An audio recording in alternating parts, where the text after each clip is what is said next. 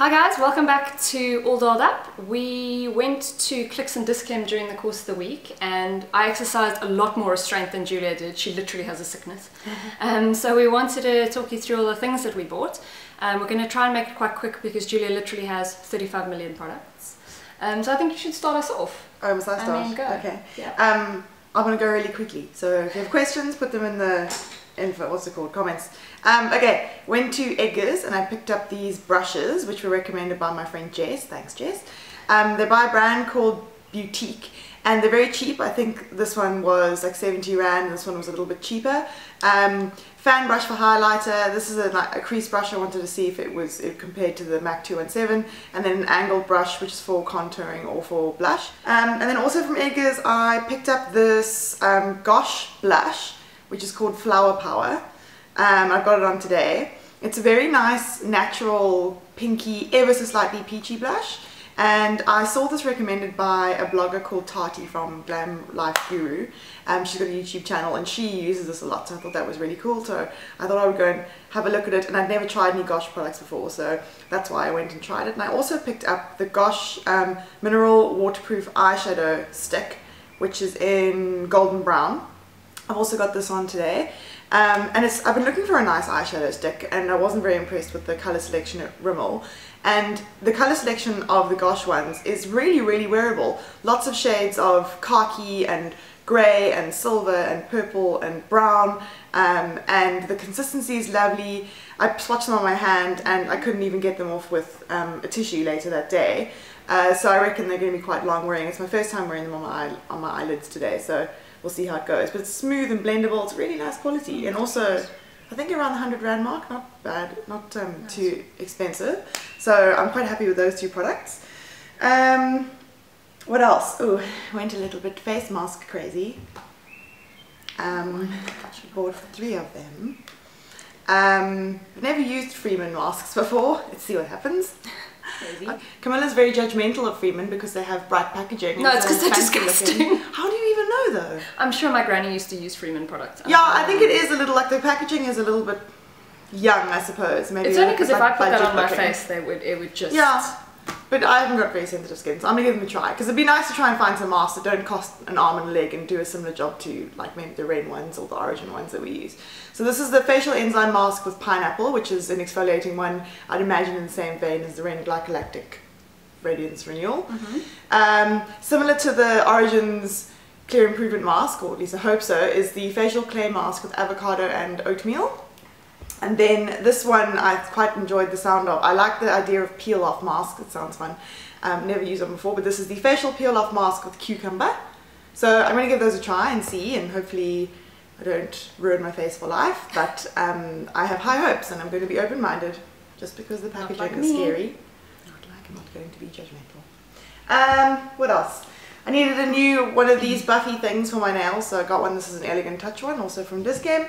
Um, ooh, then another recommendation by Jess was to go and try the Catrice products, which I'd never tried before. I don't really know why. I suppose I didn't really know much about the brand.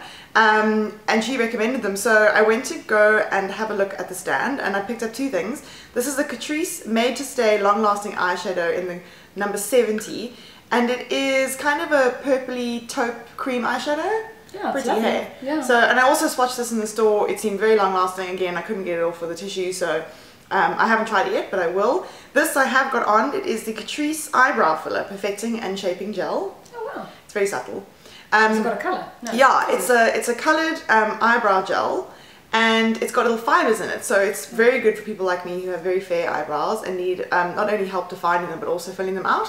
So it's quite hard for me to use because my eyebrows are so fine that I have to be very very gentle putting on, otherwise it just sort of smears all over the skin um, under my eyebrows. But um, I reckon people with slightly bigger eyebrows that are maybe fairer. Uh, that would be really, really good. And I, I, I mean, I was very happy using it this morning. It, it worked quite well for me, albeit very subtly. Did you put? Did you have a pencil on as well? yeah, Just this. and then I put, put that over. Oh, but it like helps to colour the actual brow as opposed to pencil, which technically is colouring in your skin. So That's awesome. that's quite cool. Um, I picked up um, a Batiste because I always like to have a spare one, and I just ran out, so got one of those. Uh, and then I got a new top coat. Um, I really rate Sally Hansen top coats. I used to use the Insta Dry, but to be honest, I don't find it particularly quick drying um, and I'd seen this recommended and I really like the idea of a nice high shine one so this is the Mega Shine top coat I've got it on today you probably can't tell but it is very shiny It is Shiny, super yeah. shiny. um, and it says keep, mani- keep manicures beautiful up to 10 days. Speaking of quick drying, I picked up the Essence Express Dry Spray. Because I was so impressed with the quick dry drops, I thought I would try this and I saw it on the stand. And it's like when you go and have a manicure and they spray your hands at the end and they're like ever so slightly oily, but it really dries the polish quickly. I thought I'd give that a try. I haven't done it yet, but I'm looking forward to. Um, and then two other nail related products. I saw these new from Revlon. They're called the Revlon Nail Art 3D Jewel Appliques, and the range is called Wildflowers. They are really, really pretty. Um, they are nail wraps, so you basically stick them onto your nails, so it's not paint. Um, and they have got beautiful little spring floral patterns with the kind of, this one's got little sparkly diamantes on it. I mean, that, I know that sounds terrible, but it, it's quite subtle. Look, it's sweet. No, it's yeah, it's not. And this one's also got a kind of shimmer in it. This one is called Bouquet, like B-O-W-K. And this one's called Hyperfloral. So I'm looking forward to trying those. I think they're really pretty. Just nice for spring and something a bit different. Um, hmm, oh, this. Do you want to talk about yours as well? um, I can do, yeah. Revlon uh, have brought out their new uh, summer range of the lip butters, and as you know, I'm a huge fan of Revlon lip butters. This is wild watermelon, watermelon, which I got on today. What have you got? I've got juicy papaya. This isn't a new one, though, I don't think. No, it is. Is it? Yeah, yeah, it's me. Oh, They've had the same range for two years here, which is driving me nuts because this summer range was brought out in the UK probably eight or nine months ago. Um, so I've been waiting to get my hands on this, and I really like it. It's kind of like a sheer pinky red, um, and you that's this is more of a like a yeah. It's more of like a. I don't know. It's kind. Of, it's quite peachy. I really, really like it. I've been wearing it. I'm not wearing it today, but I've been wearing it the past couple of days, and everyone has commented that it looks beautiful on. So Because you've never tried the lip butters. I've never, and I was always a bit kind. I was a bit of a snob about it. I'm sorry. I sent you. I'm never going to use that though, ever. And this I'm really, really pleased I bought because I'm. Um, they are so hydrating. They are. They're so comfortable to wear. And they are really glossy and oh, love. So Yeah. I'm going to be a big lip butter fan from now on. I'm going to go buy a few more of those. Uh, and then what else did I get? Uh, this is gonna be so random. Why am I showing cotton pads? These are big oval cotton pads. Um, the reason I wanted to show them is because I don't think everyone knows they exist. I use the normal round ones for things like toner, but these are great for if you're taking off your makeup with Bioderma or something like that. Um, because they're just bigger and it's easier to get all over your face quickly rather than kind of have to use two or three of the small round ones. And these are clicks, they're really cool. And then quickly, quickly, last things, two hair care products. Toni & Guy Casual Sea Salt Texturizing Spray, which I saw recommended by Tori from Kiss- Blush and Tell. And it is excellent. I might love it more than the Bumble and Bumble one. Really? Yeah. So I'll do a review on that, but it is really, really good. And then this was a little bit of a um, kind of spur of the moment purchase. I've never used anything from the Fudge brand before, but this is the Texture Blaster, texture and hold for styles that last. And it's basically a volumizing mist. So it's got this kind of strange Claxon style um, spray on the top. But I haven't tried it yet, but I will. I'm looking forward to seeing if it's maybe a dupe for something like the dry spun finish. Um, but yeah, I'll let you know how that goes. And that is mostly everything. You can rest now. Okay. Um, I bought very few things, so this is going to be very quick. The first thing that I bought was the Nivea In Shower Body Moisturizer, and I've got the one for normal skin. I love it. I love it. I love it. I wrote about it. Um, you are so soft. Um, it's great. The only thing I do wish that it had was a pump because when you're in the shower and you're wet and you're trying to open it and like. And also, like I find, if you put it on the one hand, let's say you're doing your leg, Yeah. and then you have to put it into the other hand Yeah. through the other leg, and then it starts sliding around. And it would be someone actually commented on the blog yesterday. It should also have a suction pad on the back so you could stick it onto the wall. It's genius. Yeah. Um, but I really, really like it. I wasn't sure how it was going to work, and so you you apply it onto wet skin, you rub it all over your body, and you rinse it off straight away. You don't have to leave it on. Um, and it leaves you with like a bit of a film over your skin, and then you pat yourself dry, and you're done. And I feel moisturized throughout the day, which is great. And someone asked us how it differs from the um, Lush Rose Argan Body Body Conditioner, which I haven't used, but you've used. so This, have you ever smelled this before? Um, I think I've. Feast your nose. Oh, that's strong. No, I know, but it's delicious. Yeah, it is delicious. Feast your nose. God, it's like rose, like super rose scented. It is very strong, Is it but it also like it, it because when you use it, it sort of hovers around your skin all day. I love the smell. Anyway, difference between this and that is this is obviously much more strongly fragranced. It's much richer it's also much more expensive. Yeah. And to be honest, it's a nice treat. Like I would buy it for my mom for Christmas, Mm. something like that. But for every day, I mean, I've had this for a long time. Terrified of finishing it. Um, it's over three hundred rand, I think. Oh my tub. god! See, this is this. I got this for twenty seven rand. Yeah. So it's a promotional. Usually it's forty, but I mean forty rand still. Yeah. uh, Um, and this is only 225 grams, it's half the size of that. So um, I really, really love this. I've got no complaints about this product at all. But if you need something for every day, definitely the Nivea. Next, on to more lip stuff, because it's one of my three obsessions.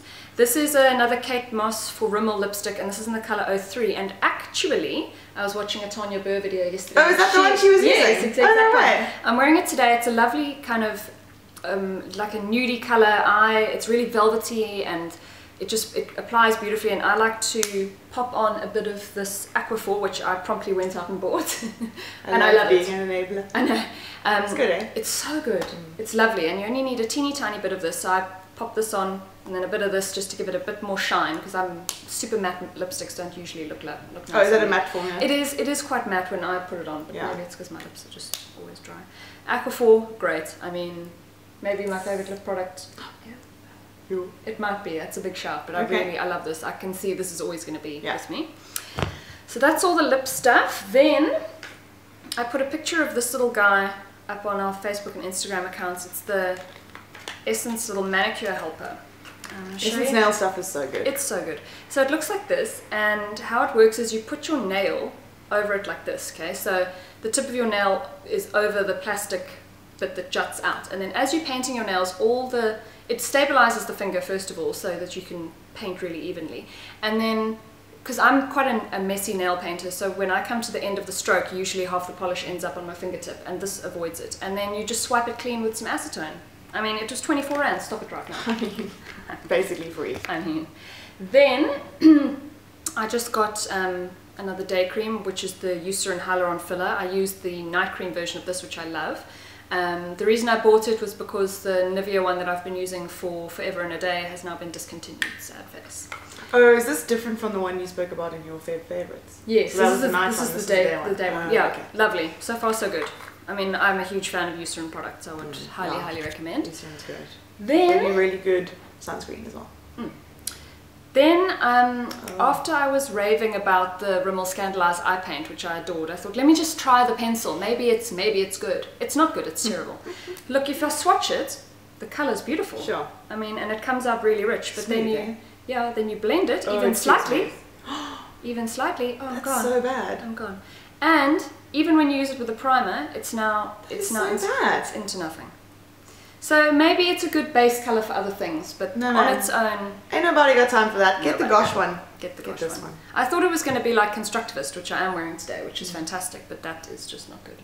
Uh, the next thing I bought was this Nivea Q10 Firming Body Oil, um, which I actually bought before the, um, the Nivea In Shower Body Moisturizer, and I've been using this for a while now. It wasn't in the haul that we did on Tuesday, but um, it's got avocado oil in it, and it smells delicious. It's nice. It's a little bit more subtle. Yeah.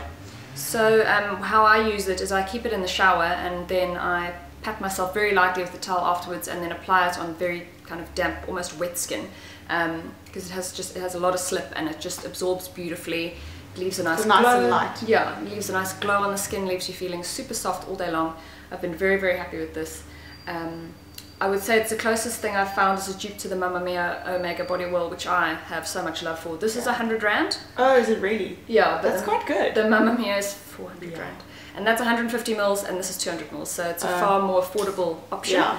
Um, and it's great. I'm a huge fan of Nivea products. Yeah. yeah, big, big fan. Really lovely body stuff. Yeah. Yeah. That's about it. Okay. So we hope we've enabled you and you're going to go and buy lots of stuff. Um, and if you buy any of these things, let us know what you think. Mm. And yeah, we'll be back soon with a new video. Yeah. Bye. Bye.